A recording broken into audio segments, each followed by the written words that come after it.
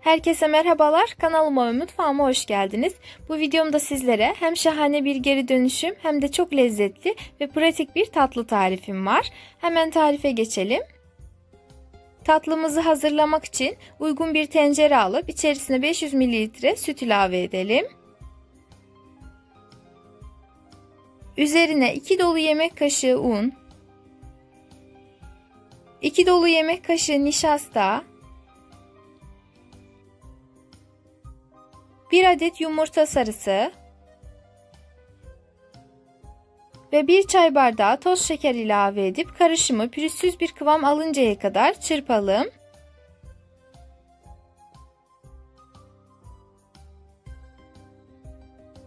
Tencereyi ocağa alıp muhallebimizi sürekli karıştırarak pişirelim.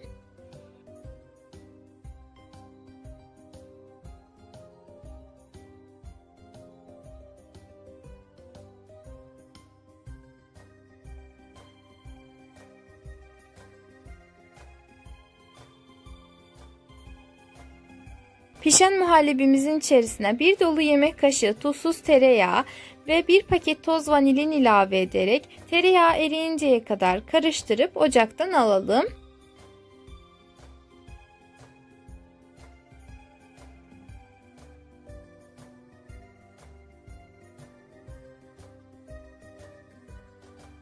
Hazır olan muhallebimizi genişçe bir kasenin içerisine alıp ilk sıcaklığının geçmesini bekleyelim. Sıcaklığı geçtikten sonra soğurken üzerinin kabuk bağlamaması için üzerini kendisine temas edecek şekilde bir poşet veya streçle güzelce kapatıp bu şekilde tamamen soğumasını bekleyelim.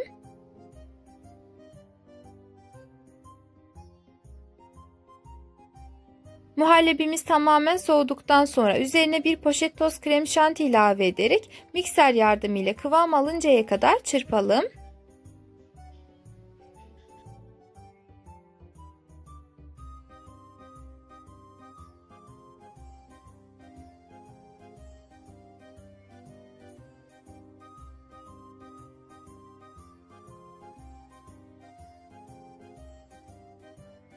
Hazır olan kremamızın içerisine 80-100 gram kadar bisküvi ilave edelim.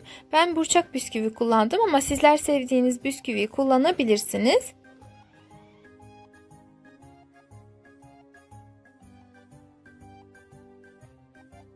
Bisküvi ilavesi yaptıktan sonra içerisine sevdiğiniz çikolata ve meyvelerden de ilave edebilirsiniz.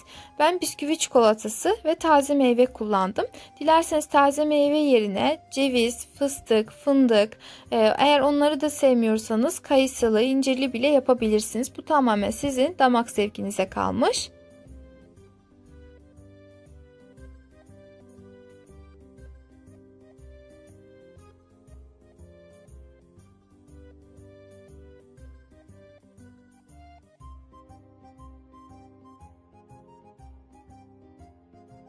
Ve tatlımız artık hazır oldu. Onu bir kenara alıp geçelim kalıbımızı hazırlamaya. Bunun için ben 1,5 litrelik bir su şişesi alıp baş kısmını bir bıçağın ucu ile kestim. Kesmeden önce bıçağın ucunu ısıtırsanız hem kesimi hem de kullanımı daha da kolay olacaktır.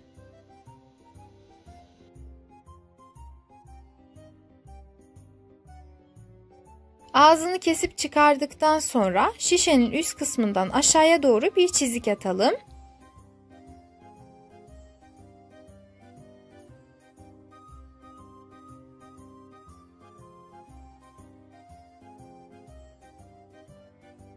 Hazır olan kalıbımızın içerisine tatlımızı dökmeden önce benim gibi bir buzdolabı poşeti geçirebilir veya her tarafını streçle kapatabilirsiniz.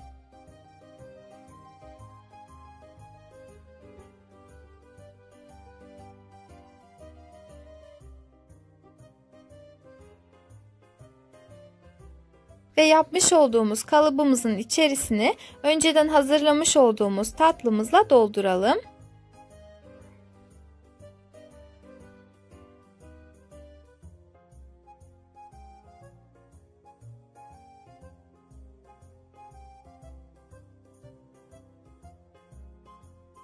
Şişeyi yan çevirdiğimizde tatlımız dökülmesin diye poşetin ağız kısmını güzelce bağlayalım.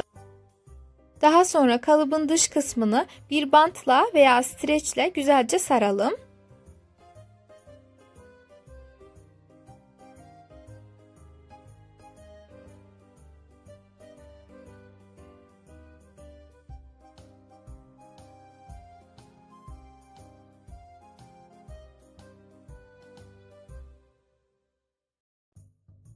Ve kalıbımızı hazırladık. Tatlımızı da içerisine döktük. Şimdi bu şekilde buzdolabında birkaç saat kadar donmasını bekleyelim. Yeterince donmuş olan tatlımızı buzdolabından alıp kalıbından çıkartalım.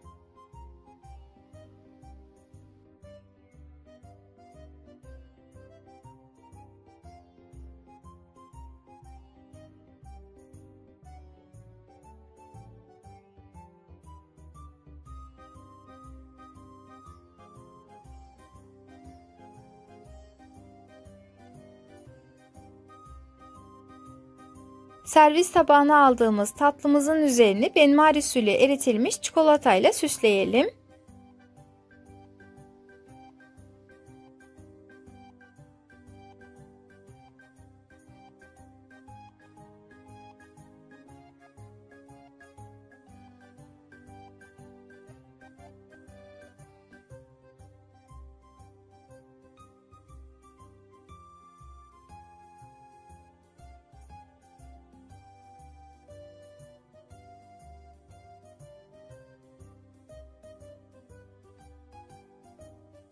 Ve dondurma tadında çok lezzetli ve güzel bir tatlı hazırladık.